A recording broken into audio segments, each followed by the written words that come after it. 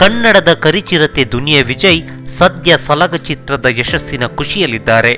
ಮೊದಲ ಬಾರಿಗೆ ನಿರ್ದೇಶಕರಾಗಿ ಬಂಪರ್ ಲಾಟರಿ ಹೊಡೆದಿದ್ದಾರೆ ದುನಿಯಾ ವಿಜಯ್. ಬ್ಲ್ಯಾಕ್ ಕೋಬ್ರಾ ಮೊದಲನೇ ಬಾರಿಗೆ ನಿರ್ದೇಶನ ಮಾಡಿದ ಸಲಗ ಸೂಪರ್ ಹಿಟ್ ಆಗಿದೆ. ಈ ಚಿತ್ರ ದುನಿಯಾ ವಿಜಯ್ ಪಾಲಿಗೆ ಮತ್ತೆ ಅದೃಷ್ಟದ ಬಾಗಿಲು ತೆರೆದಿದೆ. ಇದೇ ಖುಷಿಯಲ್ಲಿ ನಟ ವಿಜಯ್ ತೆಲುಗಿಗೆ ಎಂಟ್ರಿ ಕೊಡ್ತಿದ್ದಾರೆ.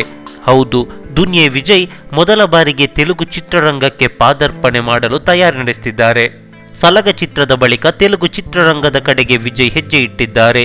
ತೆಲುಗಿನ ಸ್ಟಾರ್ ನಟ ನಂದಮೂರಿ ಬಾಲಕೃಷ್ಣ ಅವರ ಚಿತ್ರದಲ್ಲಿ ನಟ ವಿಜಯ್ ಅವರು ಅಭಿನಯಿಸುತ್ತಿದ್ದಾರೆ ಈ ಚಿತ್ರಕ್ಕೆ ಕ್ರ್ಯಾಕ್ ಡೈರೆಕ್ಟರ್ ಗೋಪಿಚಂದ್ ನಿರ್ದೇಶನ ಮಾಡ್ತಿದ್ದಾರೆ. ತಾತ್ಕಾಲಿಕವಾಗಿ ಚಿತ್ರಕ್ಕೆ ಎನ್ ಡಿ ಕೆ ನೂರ ಏಳು ಎನ್ನುವ ಟೈಟಲ್ ಇಡಲಾಗಿದೆ. ಇದು ದುನಿಯಾ ವಿಜಯ್ ಸಿನಿಮಾ ಜರ್ನಿಯಲ್ಲಿ ವಿಭಿನ್ನ ಪ್ರಯೋಗ ಅಂತ ಹೇಳ್ಬೋದು. ಏಕೆಂದರೆ ವಿಜಯ್ ಈ ಚಿತ್ರದಲ್ಲಿ ಖಳನಾಯಕನ ಪಾತ್ರ ಮಾಡ್ತಿದ್ದಾರೆ. ನಂದಮೂರಿ ಬಾಲಕೃಷ್ಣ ಎದುರಿಗೆ ಕನ್ನಡದ ನಟ ದುನಿಯಾ ವಿಜಯ್ ಅಬ್ಬರಿಸಲಿದ್ದಾರೆ. ಈ ಸುದ್ದಿ ಟಾಲಿವುಡ್ ಮತ್ತು ಸ್ಯಾಂಡಲ್ವುಡ್ನಲ್ಲಿ ಹರಿದಾಡ್ತಿದೆ. ಆದ್ರೆ ಚಿತ್ರತಂಡದಿಂದ ಅಧಿಕೃತವಾಗಿ ಮಾಹಿತಿ ಇನ್ನಷ್ಟೇ ಹೊರಬೀಳ್ಬೇಕಾಗಿದೆ. ಇದೊಂದು ಪಕ್ಕಾ ಮಾಸ್ ಎಂಟರ್ಟೈನ್ಮೆಂಟ್ ಸಿನಿಮಾ ಆಗಿರಲಿದೆಯಂತೆ.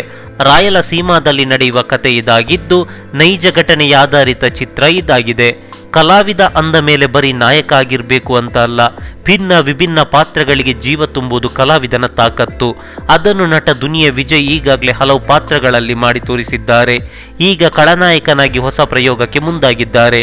ನಟ ದುನಿಯಾ ವಿಜಯ್ ಸಿನಿಮಾ ಜರ್ನಿ ರೋಚಕ ಎಂದು ಹೇಳ್ಬೋದು. ದುನಿಯಾ ವಿಜಯ್ ಚಿತ್ರರಂಗಕ್ಕೆ ಗಾಡ್ಫಾದರ್ ಇಲ್ಲದೆ ಏಕಾಂಗಿಯಾಗಿ ಬೆಳೆದು ನಿಂತಿರುವ ಒಂಟಿ ಸಲಗ.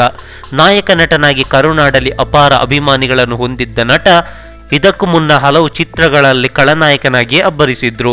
ಇದೀಗ ಹಿಂದಿನ ಪುಟಗಳತ್ತ ವಿಜಯ್ ಮತ್ತೆ ನೋಡ್ತಿದ್ದಾರೆ. ನಮಸ್ಕಾರ.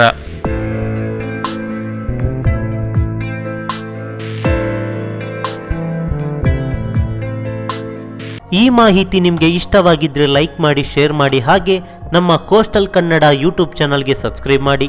ನಮ್ಮ ಹೆಚ್ಚಿನ ಅಪ್ಡೇಟ್ಸ್ಗಳಿಗಾಗಿ ಕೋಸ್ಟಲ್ ನೆಟ್ವರ್ಕ್ ಇನ್ಸ್ಟಾಗ್ರಾಮ್ ಪೇಜ್ ಹಾಗೆ ಫೇಸ್ಬುಕ್ ಪೇಜ್ಗೆ ವಿಸಿಟ್ ಮಾಡಿ. ಧನ್ಯವಾದಗಳು.